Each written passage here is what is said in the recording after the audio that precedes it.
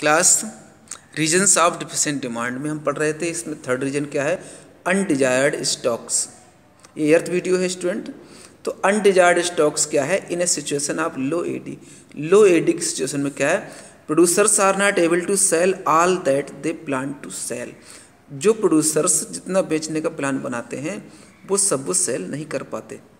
Accordingly undesired stocks tend to pile up कभी कभी undesired stock का ढेर लग जाता है। Clearance of undesired stocks often lead to तो अनडिजायर्ड स्टॉक को क्लियर करने में क्या क्या प्रॉब्लम आती हैं?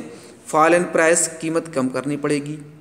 And fall in planned output planned output को भी कम करना पड़ता है, जो आगे और कुछ करना था। नेक्स्ट जो फोर्थ रीजन है लॉस ऑफ़ प्रॉफिट्स प्रॉफिट्स में कमी होना।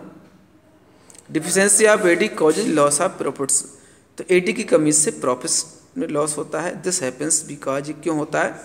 Producers are not able to clear their stocks तो प्रोड्यूसर्स अपने ओल्ड स्टॉक को क्लियर नहीं कर पाते।